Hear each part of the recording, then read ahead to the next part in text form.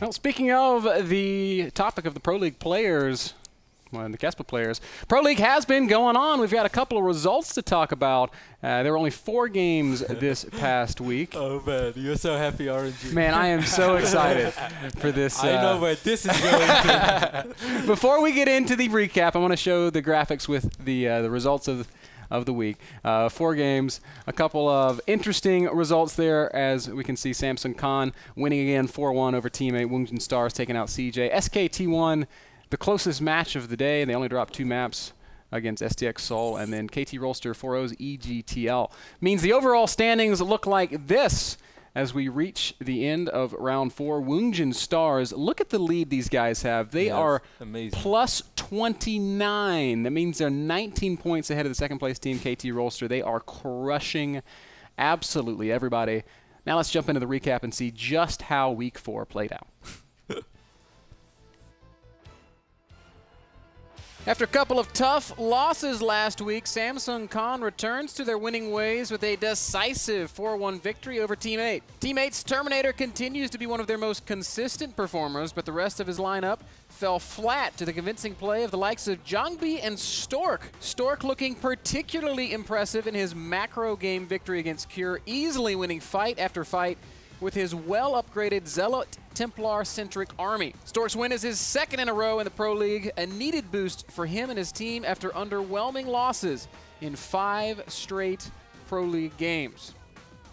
The Woongjin Stars continue to be one of the most dominant forces in all of the Pro League with another crushing victory in Week 4. This time, their victim was second-place team CJ Entus, and it has to be said, the gap between first and second has never looked wider.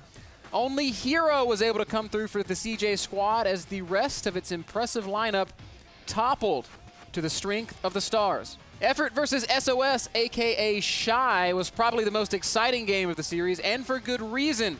These guys went punch for punch for nearly an hour. One play really defined and determined the outcome of the game, with Effort landing a neural parasite on SOS's mothership and subsequently vortexing the Protoss army. Ironically, this vortex served more to help SOS than it did to hurt him. It protected his Void Ray Colossus army from effort long enough for reinforcing Stalkers to get in positions and clean up the Corruptor Force. While the game would rage on for a while longer, SOS's ability to retain that expensive army proved to be too much of an advantage for effort to overcome as he would ultimately fall to the Woongjin Protoss. Woongjin Stars take out CJ Entus 4-1. The closest match of Week 4 would be SK Telecom T1 versus STX Seoul, and let's be honest, it still really wasn't all that close. While STX did manage to pick up two wins on the backs of Trap and the always strong Innovation, SKT Zergs continued to deliver, booking once again three wins for their team. Sacsri is really beginning to establish himself as a ZVZ sniper, winning four out of his last five Zerg vs. Zerg games and delivering once more against STX. The strength of Sacsri's play is really its variety. He mixed it up against Hiva, punishing his opponent for not scouting with some nasty slow Zergling Baneling play. Check out this happy little guy. Nothing to see here, folks. After taking this much damage, there's really no way to come back against an opponent who just continues to lay on the pressure. Saxtree, of course, realizing his position, did just that, cleaning up Hiva and clocking in another win for SKT1.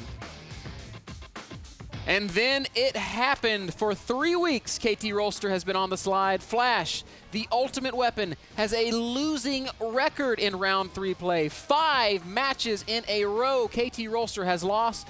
The one-time first place team in all of the SK Planet Pro League falling all the way to the cusp of fourth place. We knew they had a secret weapon. We knew they were saving him for the playoffs. With those playoff hopes dwindling, it was time to bring out the big guns. The Hitman cometh. That's right, Hitman makes his first appearance in the round, and yes, it was everything we all knew it could be. It was high aggression and high economy, with some big plays being made early on with Banelings as Hitman would macro up behind it. The mid game would be dominated by Mutaling Bane, but why is Hitman so good, guys? Transitions, and he nailed them, attacking, defending, and harassing on all points with ease. Hitman would smoothly transition up to Hive, where his tech of choice would not be Ultras, it would not be Broods, it would be both. Why? Because, hey, why the hell not?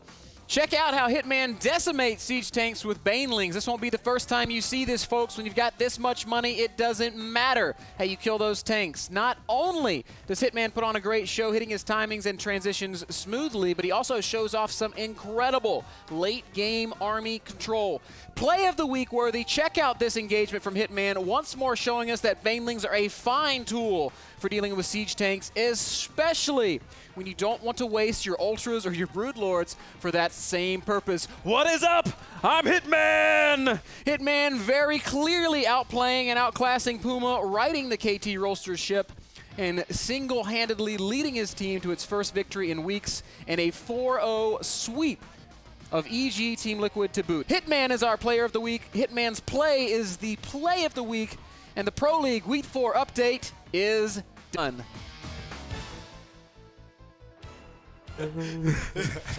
That's right, guys. KT revealing their secret weapon. Hitman is here to stay. He will be playing again tonight. And his next victim will be innovation. Yes, Hitman don't care that it's the best TVZ in the world. He's going to crush him, and he's going to do it on Antigua Shipyard. Be sure to check that out. It all happens later Does this Innovation evening. have two NASL season championships? No. Hitman's fine, man. Hitman's fine. because Puma did. But Yes, Yeah. th- there's the saying. joke. I was really confused for a second, We'll get there. but now really- I get it. but actually, this is a terrible thing to do because you are just describing some sort of engagement that's absolutely phenomenal. Look how he crushes all these tanks and he loses 16 Bailey. and then you talk about a phenomenal engagement where the ultras go left, the zerglings stay here. The broodlords are like, shall we go? No, you know what? Let the banelings go first. Oh, what a game by Hitman. The, the, the clumped genius. This is the genius of it, Kevin. He had like four broodlords and four ultras. By throwing away all the banelings, he got to make more broodlords and ultras. It all makes sense. He sure did. It, it's, it's higher level. It's higher level gameplay. I don't expect you guys to understand. One day I'm on your level. it's the beauty of the Hitman Pro League's been a lot of fun. The Woongjin Stars kicking so much ass, and uh, you know what? Round four is, is starting soon. Round three actually ends this week, so Welcome back, Mr. Biased. I, I missed you. it's been great, man. It has been so much fun. Um, in the in, in celebration of the Pro League, we did take some time to profile one of the hottest teams in the Pro League. No, it's not Hitman's team. It's SKT1, who on the back of their Zerg play have been on fire. Check it out. Teams are crucial to the world of esports and vital to the growth of individuals. One such team, SK Telecom T1, has been around for quite some time. We reached out to them to get their opinion and what their goals are as a team, and this is what they had to say. SK Telecom T1 is a professional esports team under KESPA, the Korean Esports Association. The team was formed originally by Lim Boxer Yohwan under the name Orion in 2002. Boxer is one of the most recognized and accomplished figures in the world of competitive gaming, with 16 first place tournament victories, including multiple Star Leagues and World Cyber Games Grand Finals. He now coaches the StarCraft 2 T1 players. SK Telecom T1 currently has an active StarCraft 2 roster of 13 players, plus a five man team for League of Legends. They have also supported FPS teams. T1, signifying Team First, is also part of SK Sports, which includes the baseball team SK Wyverns and basketball team SK Knights. What are the goals of SK Telecom T1? How important are the results? What are the team expectations of the players, and vice versa? Who better to answer those questions than the man himself, Boxer? The primary goal? to make all those who cheer for T1 happy. When it comes to results compared to popularity, It is impossible to satisfy esports fans with players' popularity alone. I think the team's results will help the team's appeal to leave a better impression to more fans. when it comes to player team expectations, In exchange of supplying a steady income and the best possible practicing environment, the team expects players to fulfill their goals and passion. With that, we expect T1 to become a successful story that is satisfying to the fans. but what do the players expect from their team? Best, a salary and a stable pro gamer lifestyle that reflects results. Fantasy, a stable practicing environment and compensation for results. Bisu, to acquire incentives or a rise in salary when displaying good results. Parting, stable practicing environment coupled with a salary and incentives. Hello, Anaheim. Pay attention.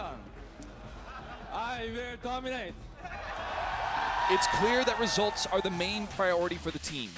Since 2012, Major League Gaming Spring Championship in Anaheim, California, they have participated in MLG and GSL tournaments. Pro League, the year-long tournament in South Korea, takes precedence. Along with results, a team has certain obligations to be a marketing asset to their sponsor. Sponsorship is key to the survival of esports teams around the globe. SK Telecom is a South Korean wireless telecommunications operator and member of the SK Group, one of South Korea's largest conglomerates. Team official from SK Telecom T1 stated, As a representative icon of Korean esports, the exposure of T1 will help strengthen the image of SK Telecom. T1 represents and signifies Team First. Not only does the term apply to the results, but it also applies to the support of players and for the furtherance of the development of the esports culture. I believe media exposure and marketing plays an important role in establishing these aspects. Placing first in 15 tournaments since 2003, including multiple pro leagues, SK Telecom T1 will continue their esports legacy in South Korea and around the globe, making all those who cheer for T1 very happy. Helping individuals to accomplish their dreams and goals, along with helping them financially, are quite admirable goals to have. Thank you, SK Telecom T1 and Boxer, for your responses. We wish you, your players, and your entire team the best of luck in Pro League this season and in the future. If you want to be featured on the Pulse or NASL, go ahead and send me an email, clutch at NASL.tv. Teams are vital to the world of esports.